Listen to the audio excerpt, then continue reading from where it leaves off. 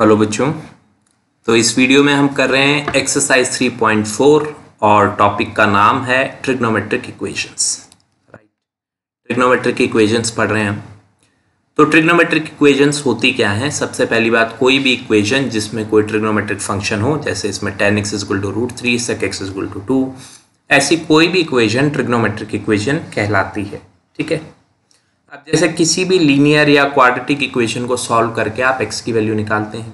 ऐसे trigonometric equations के लिए भी एक्स की वैल्यूज़ निकलती हैं राइट और एक्स की वैल्यूज़ जो निकलती हैं, वो सॉल्यूशन होते हैं इसके। तो दो टाइप के सॉल्यूशन हैं प्रिंसिपल सॉल्यूशन और जनरल सॉल्यूशन प्रिंसिपल सॉल्यूशन क्या होते हैं? जब आपकी जो एक्स की वैल्यू है, वो आपने ज़ीरो से टू पाई तक बता दी। ज़ीरो से टू पाई तक हुँ? तो वो कहलाता है प्रिंसिपल सॉल्यूशन और अगर जो आपकी एक्स की वैल्यूज़ हैं वो ज़ीरो से टू पाई इंटरवल के अलावा बड़े एंगल्स या नेगेटिव एंगल्स हैं तो वो कहलाते हैं जनरल सॉल्यूशंस ठीक है? क्योंकि आपको पता है कि जो ट्रिग्नोमेट्रिक फ़ंक्शंस होते हैं ना, वो रिपीट होते हैं पीरियोडिक फ़ंक्शंस होते हैं. जैसे साइन एक्स कॉस एक्स हर टू पाई के बाद रिपीट हो जाता है टेन एक्स पाई के बाद रिपीट हो जाता है. तो रिपीटिंग होते हैं. तो इस वजह से एक एक्स की वैल्यू आपको नहीं मिलेगी। पूरे डोमेन पे अनंत एक्स की वैल्यूज़ है इन्फिनिट एक्स की वैल्यूज़ है, ठीक है?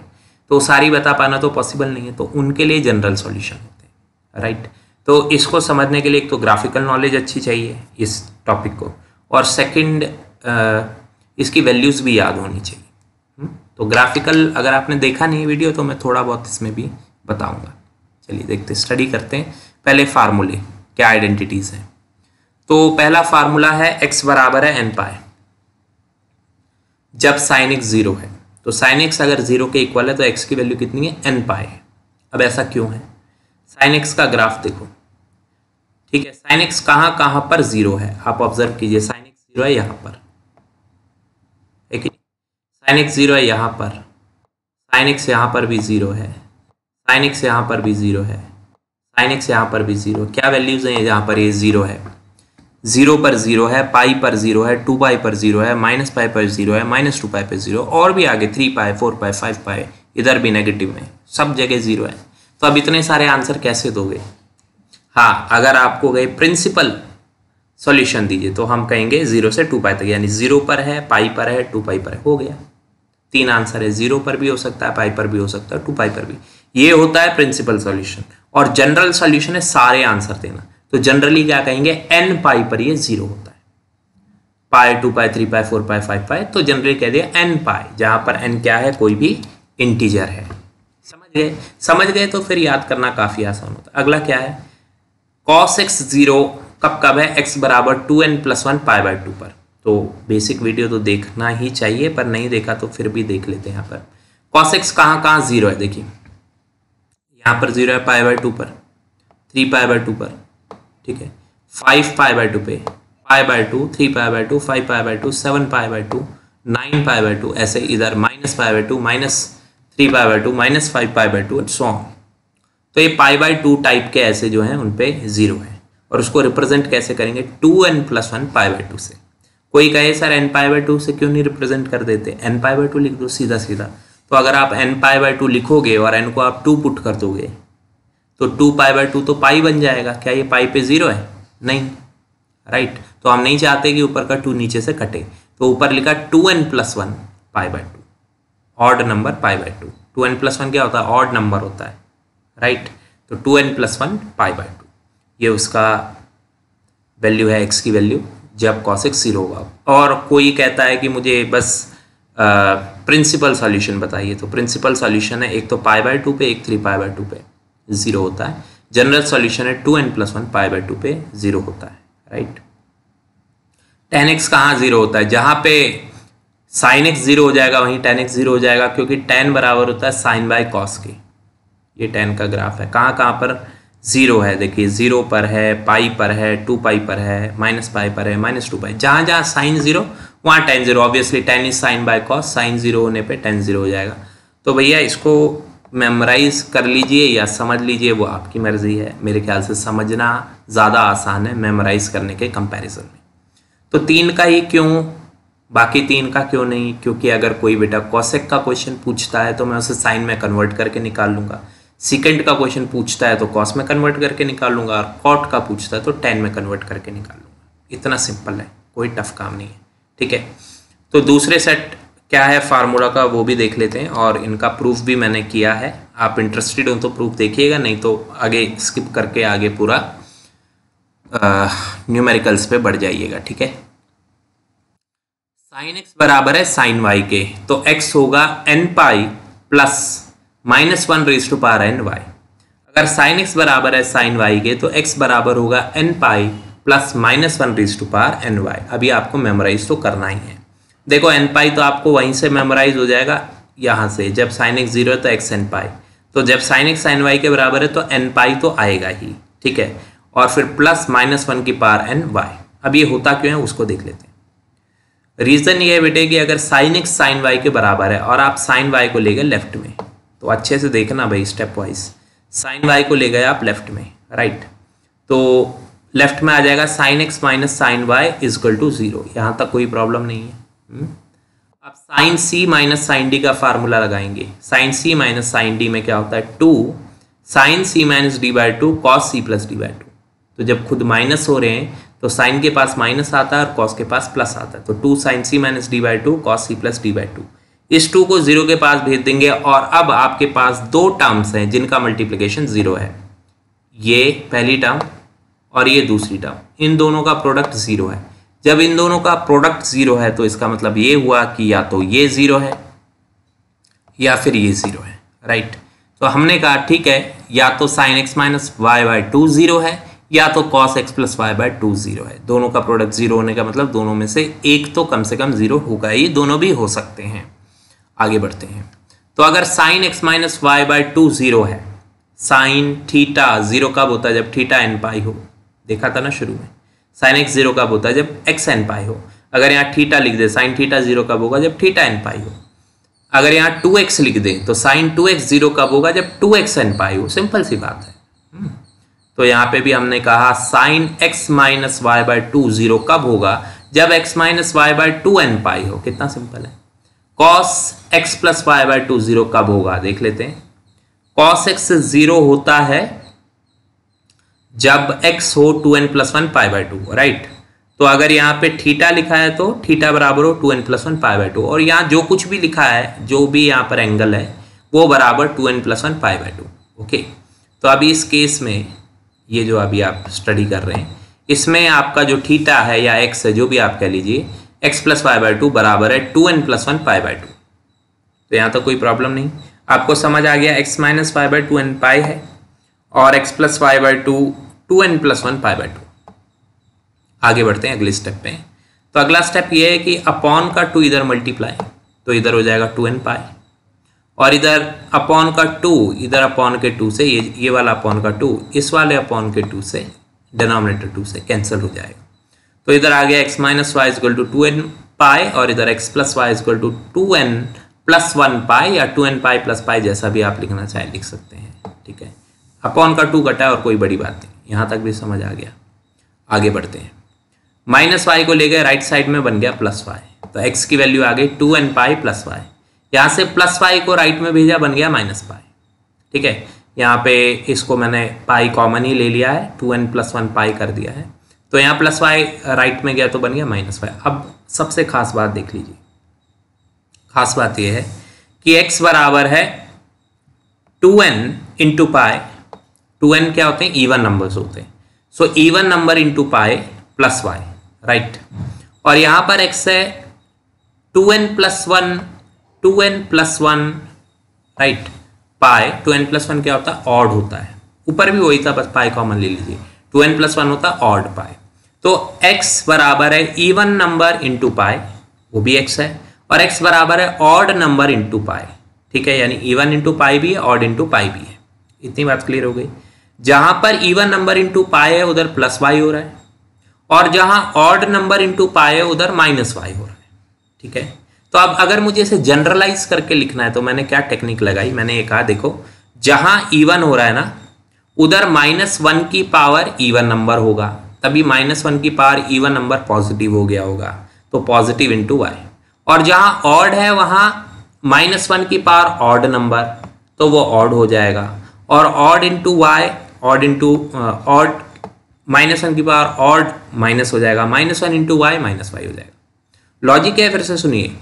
टू एन ईवन नंबर है। जहाँ पर इवन नंबर है, वहाँ पर प्लस वाई है। जहाँ पर ऑड नंबर है, उधर माइनस वाई है। तो इसको हमने जनरलाइज करने के लिए ऐसे कहा कि देखिए, यहाँ पे पॉजिटिव वाई है, इसको ऐसे लिख देते हैं माइनस वन की power even number into y तो माइनस वन की पार इवन नंबर पॉजिटिव हो जाएगा positive one into y y हो जाएगा।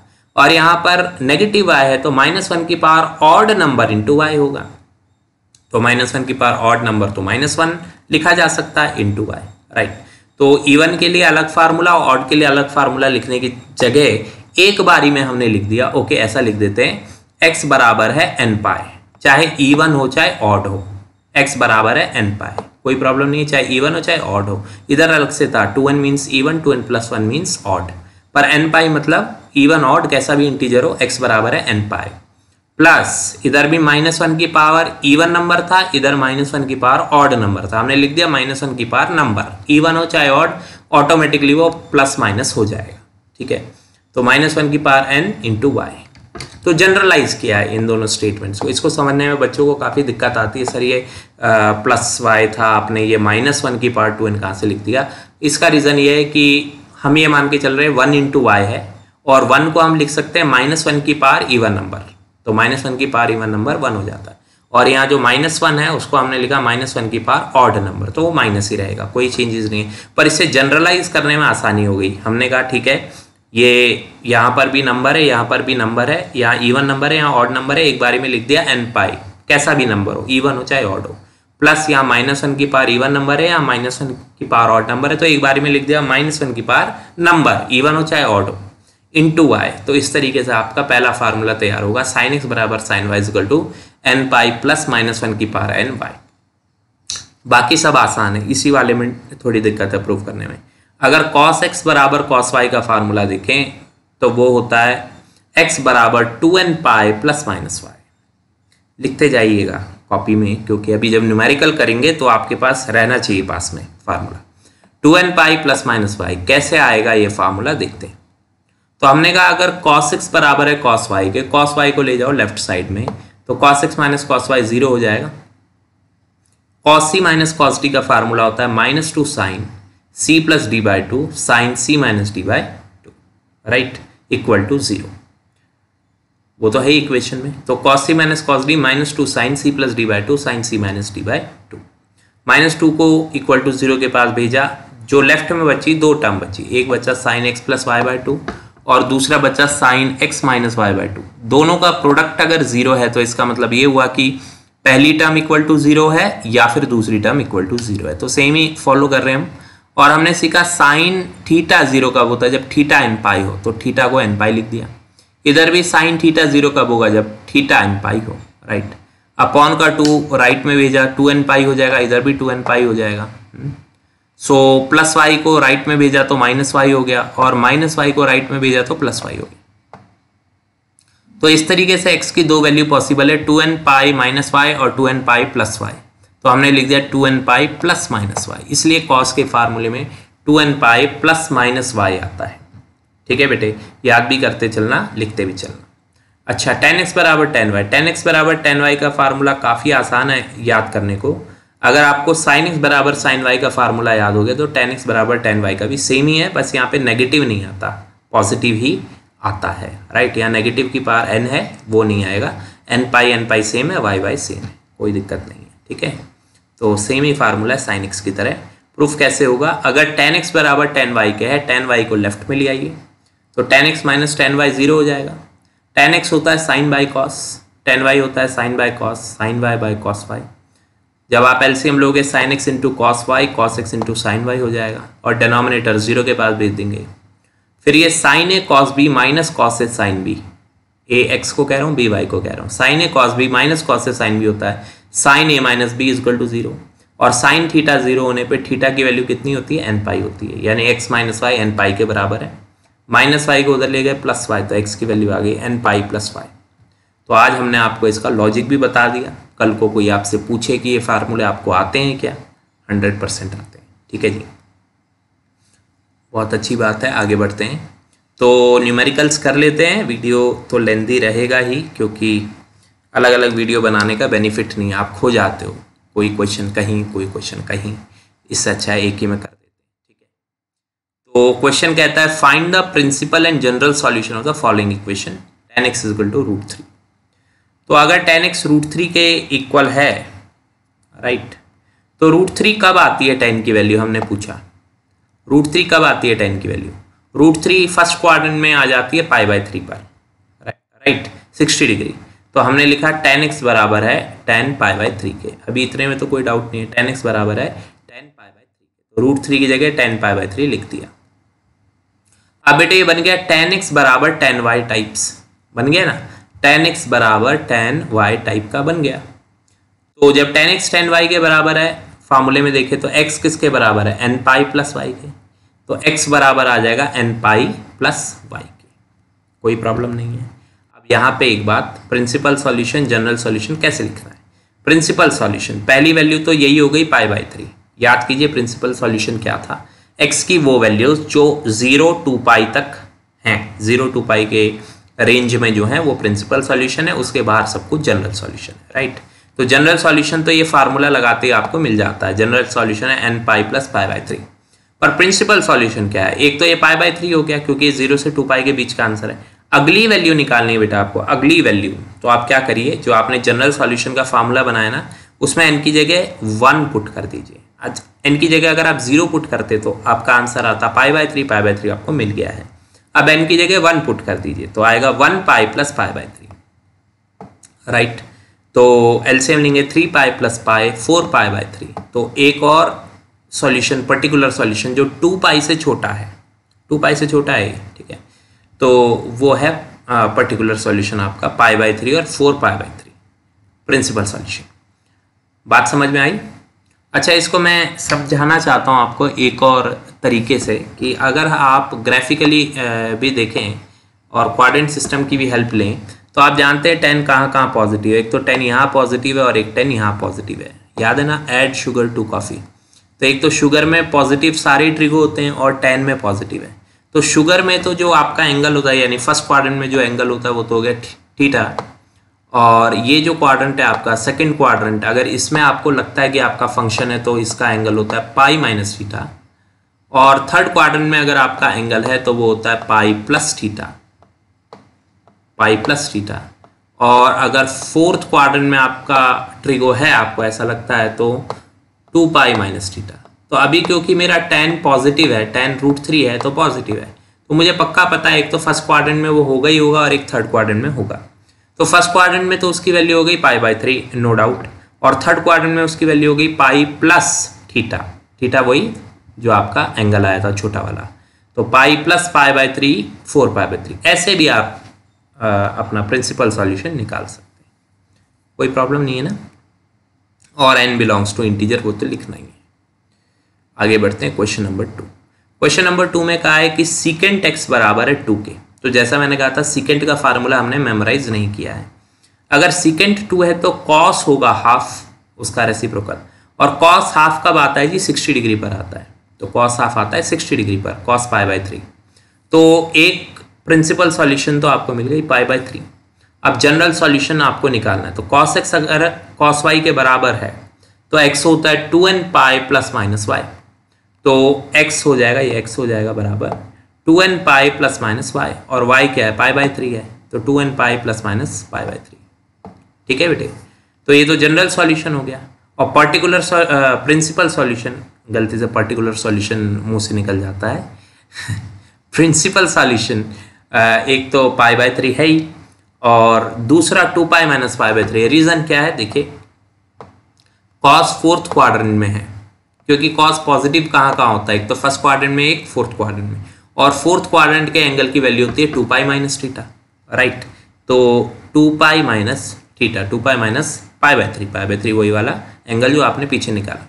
तो three to the six six minus one five pi by three otherwise ऐसे भी किया जा सकता है कि आप यहाँ पर एन की वैल्यू पुट कर लीजिए राइट वन पुट कर लीजिए तो उससे भी एक और प्रिंसिपल सॉल्यूशन निकल जाता है।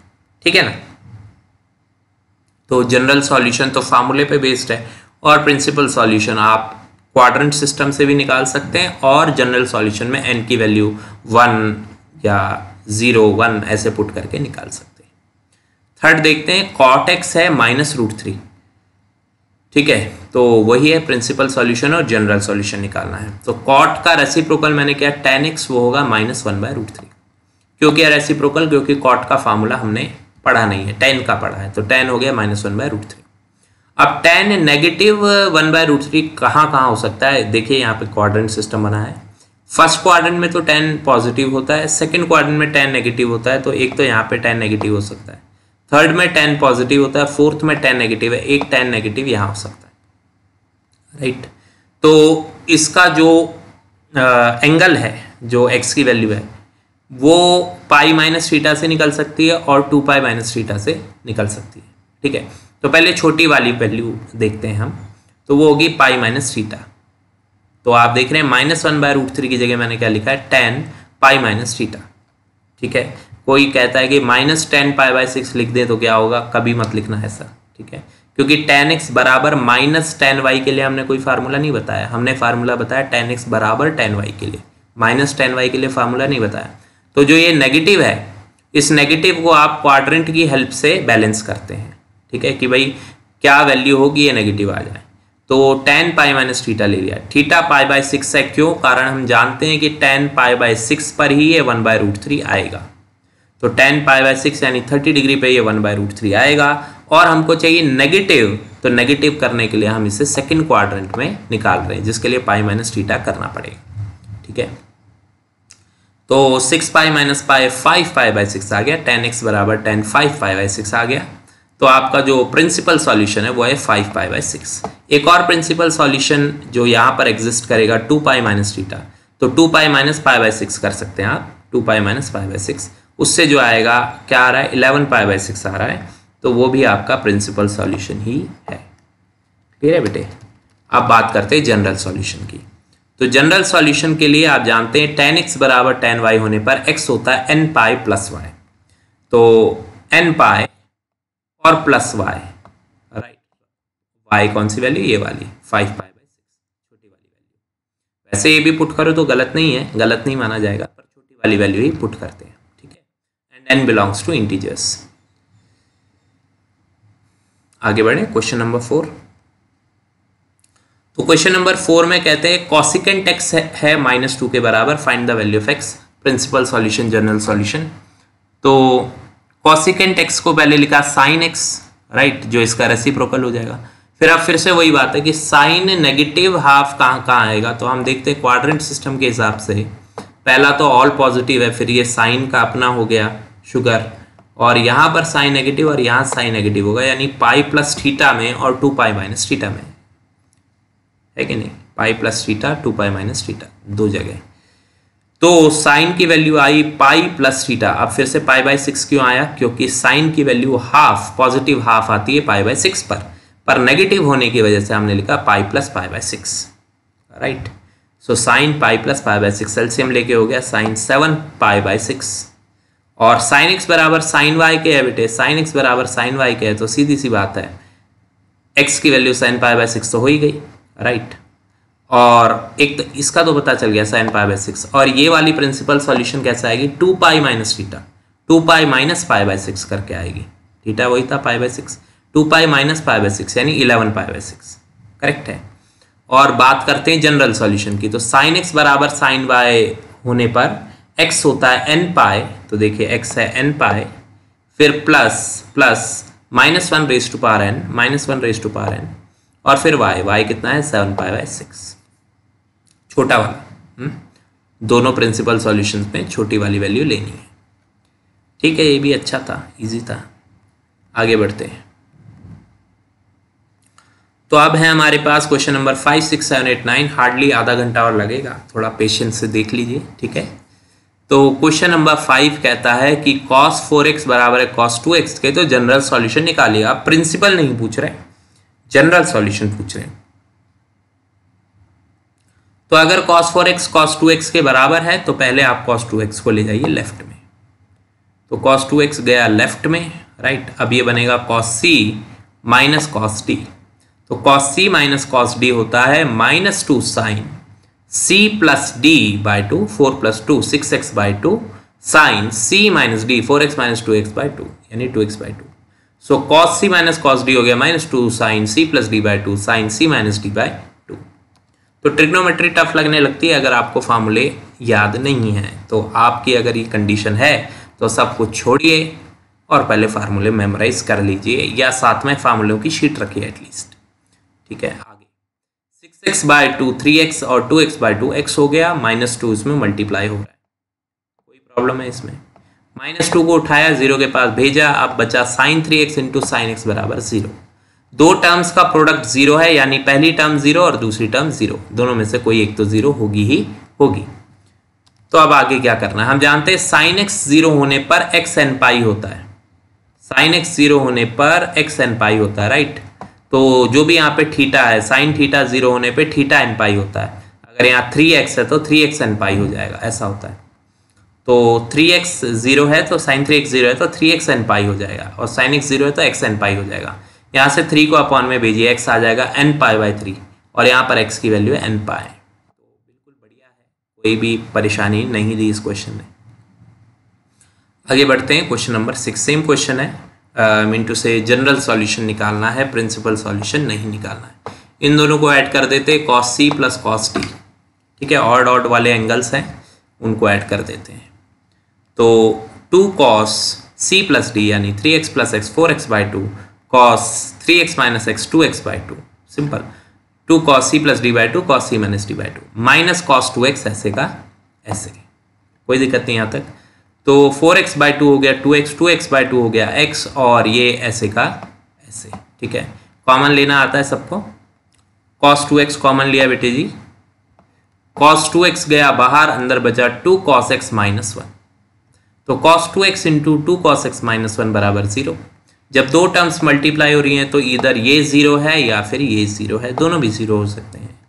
कॉस टू एक्स बराबर ज़ीरो और two cos x minus one बराबर ज़ीरो तो पहले तो इसको देख लेते हैं कॉस टू एक्स ज़ीरो तो हमने देखा है, अगर कॉस एक्स ज़ीरो होगा तो एक्स होगा two n plus one pi by two cos theta zero होगा तो थीटा बराबर two n plus one pi by two cos two x zero होगा तो टू एक्स बराबर two n plus one pi by two तो यहाँ पर cos two x zero है तो टू एक्स बराबर two n plus one pi by two और ये जो टू है, इसको उठाएँगे और डेनोमिनेटर में ले जाएँगे तो two n plus one pi by four हो जाएगा। तो यहाँ तो कोई प्रॉब्लम नहीं है। राइट ये टू को उठाकर डेनोमिनेटर में ले गए। ठीक है बेटे? अब two cos x minus one equal to zero है। माइनस वन को उधर ले गए तो बन गया प्लस वन और टू को अपॉन में cos x half cos x half कब होता है? सोच लीजिए कॉस एक्स हाफ़ होता है सिक्सटी डिग्री पर। तो यहाँ पर हमने लिख दिया cos pi by three negative का चक्कर होता तो फिर वो पूरा क्वाड्रेंट खंगालना पड़ता है।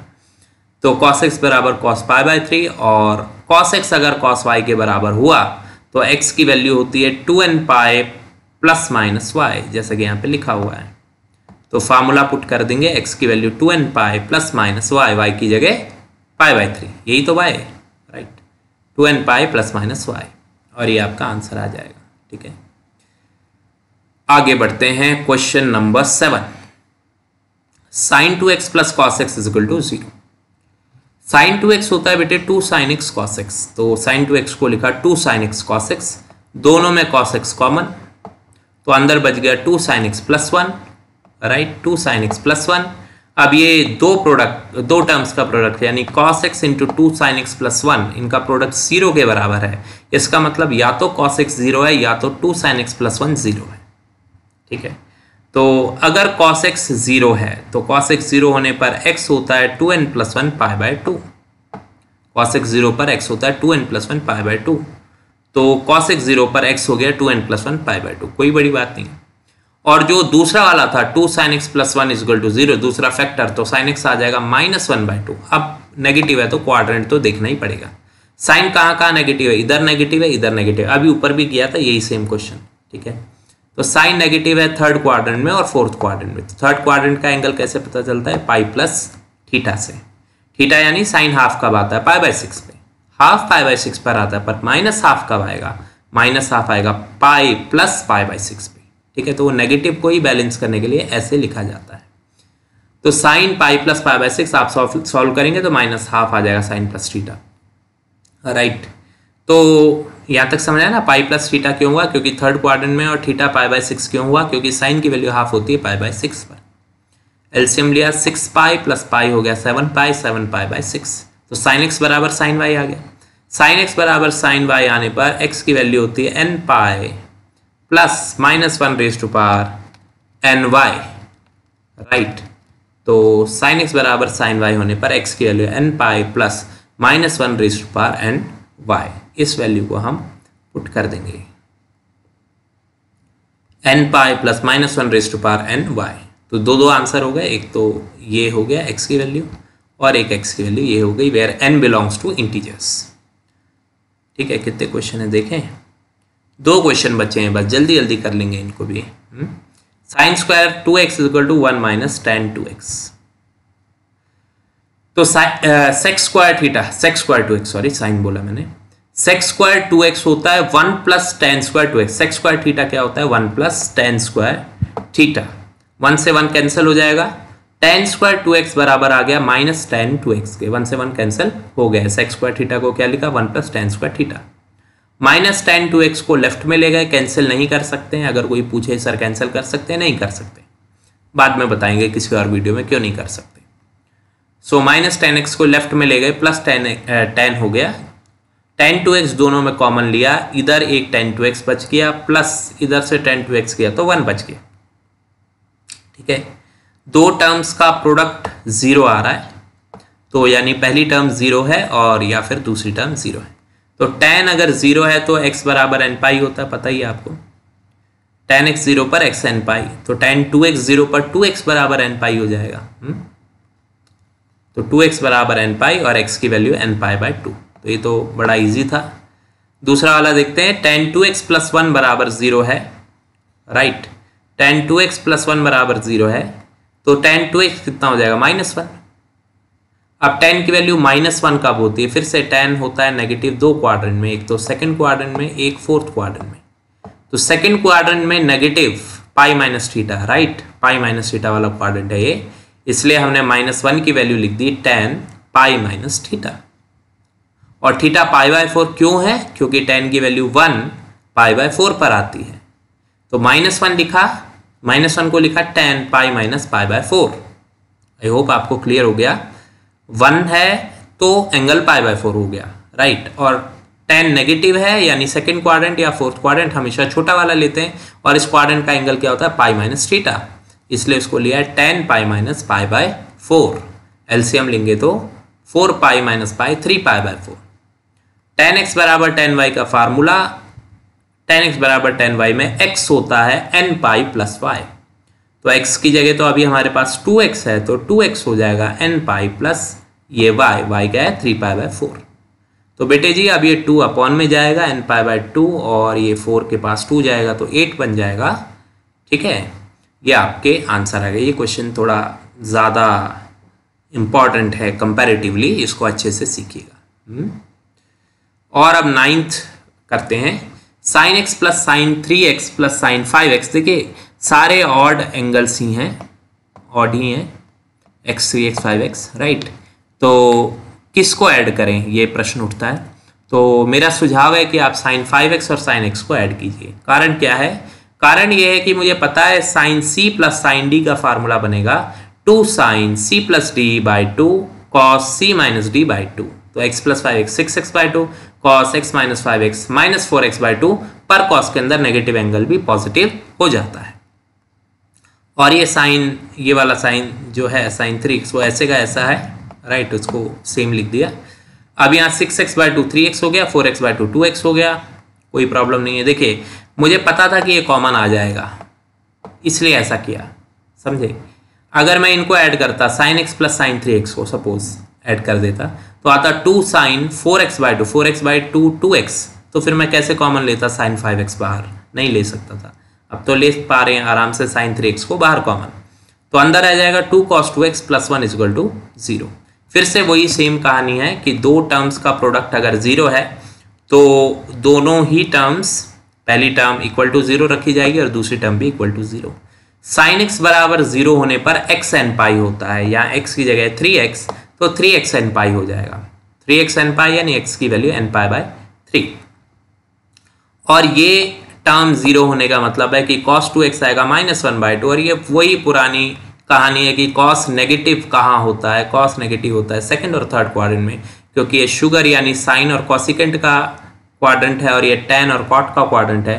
कॉस यहाँ पर पॉजिटिव और यहाँ पर पॉजिटिव होता है फोर्थ और फ़र्स्ट में, यानी सेकंड और थर्ड में नेगेटिव होगा, यानी pi minus theta pi plus theta इनमें से छोटा एंगल पाई माइनस थीटा है तो वही हम कैलकुलेट करेंगे राइट तो कॉस टू एक्स की वैल्यू माइनस हाफ़ फार्मूले के according cos pi minus theta right और थीटा 60 डिग्री क्यों हुआ? क्योंकि कॉस की वैल्यू हाफ़ 60 डिग्री पर आती है हाफ़ 60 डिग्री पर आती है। So pi minus pi by three LCM लिया। Three pi minus pi two pi by three हो गया। Cos two pi by three is equal to cos two x और अगर कॉस एक्स बराबर कॉस वाई के आ गया है तो एक्स बराबर आता है two n pi plus minus y के। तो यहाँ एक्स की जगह टू एक्स है तो हम लिखेंगे टू एक्स बराबर two n pi plus minus, और ये है हमारा y so two n pi plus minus y.